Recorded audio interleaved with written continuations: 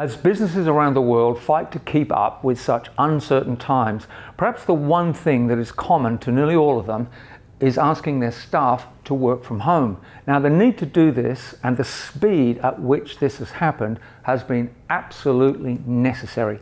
But it's also vital for companies to understand that not only do they now have to manage their remote staff to keep up productivity, but they also have a duty of care to prevent stress and anxiety and mental health issues that will undoubtedly increase over the short and medium term.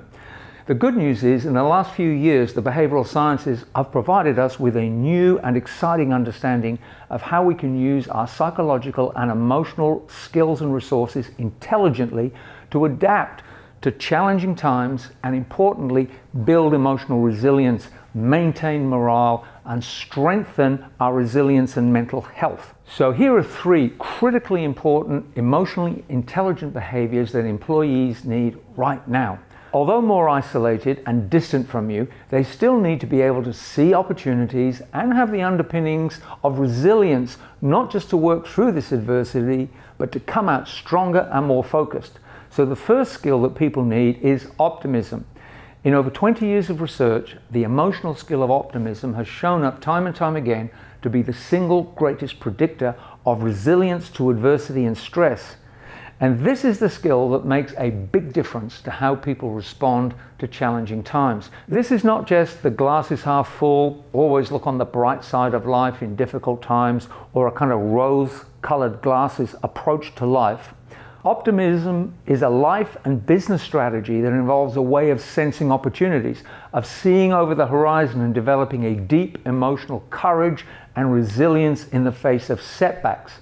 And the most exciting reality about optimism is that we now understand the components of it and that they can be taught to people to build emotional strength and resilience. And thankfully, due to modern technology, things like workshops and coaching, the building blocks and strategies that strengthen optimism can all be delivered virtually online.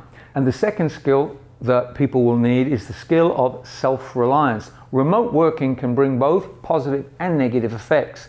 But after more than a quarter of a century of studying how people make their best choices, generate lasting motivation, and develop their capacity to rise above the limits of their external circumstances, psychologists are almost unanimous that most of it depends on self reliance, which is a kind of emotional grit.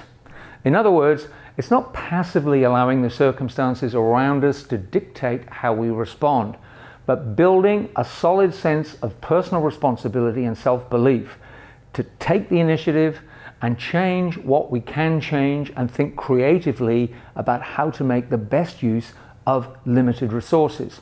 So, those with higher levels of self reliance will be able to cope and thrive much better in this new and unsettling environment.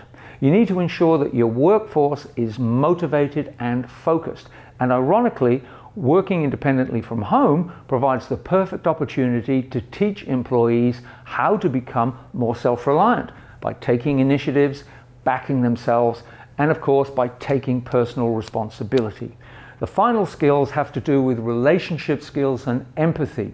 Okay, so we're told that social distance is the key to limiting the spread of COVID 19, and we all understand the implications and what this means.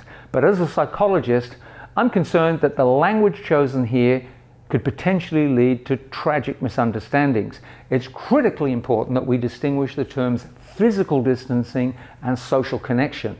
Psychology has demonstrated convincingly that our relationships with other people are the best antidote to the stresses of life and the single most reliable source of well being. With staff working in hundreds of different places and away from each other, it's inevitable that we will miss our normal interpersonal human contact that working in an office has made us used to. So while working from home for extended periods, managing stress or the disruption to projects and business, it's vital that you not only support your staff and clients, but help broaden their empathy and broaden their circle of care to include those that may be particularly appreciative of their support. Thankfully, again, due to modern technology, they should be encouraged to continue to reach out to others using virtual channels.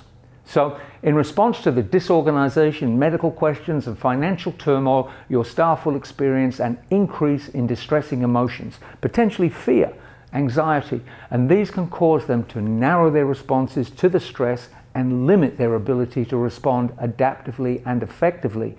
But our emotions also involve our intellect and are designed to work together to give us the best chance of adapting, thriving, and ultimately surviving this. So, providing your employees with the skills of emotional intelligence is the very best resource that you can provide them to ensure their resilience, mental health, and well being.